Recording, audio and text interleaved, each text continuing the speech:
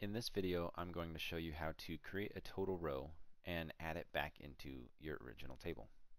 So here we have a small table of vehicle type and number of vehicles. The first thing we're going to want to do is to grab this Summarize tool, drag it to the canvas, select number of vehicles, and do a sum action. And hit run. So this will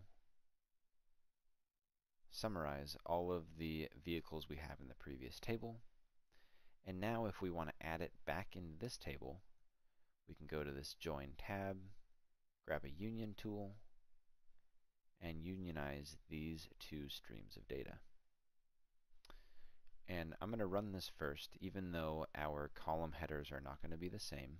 Uh, I'm going to change this auto config by name to do a manual uh, manual configuration.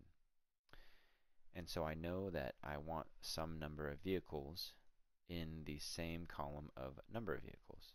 So when I hit run now, I see now that we have a fifth row with uh, null in the vehicle type and 128 in the number of vehicles. If I want to fill in this null with uh, total, for example, we can go ahead and add in a formula tool right here.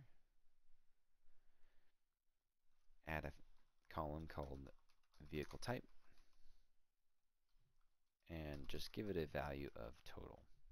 So now when we run this again, let's check to make sure we're still configured. We're not, but no problem. We can rearrange these in the order that we want. And when we hit run again, we'll see now that we've got our four original rows and our total row at the very bottom. And that is how you create a total row within a dataset.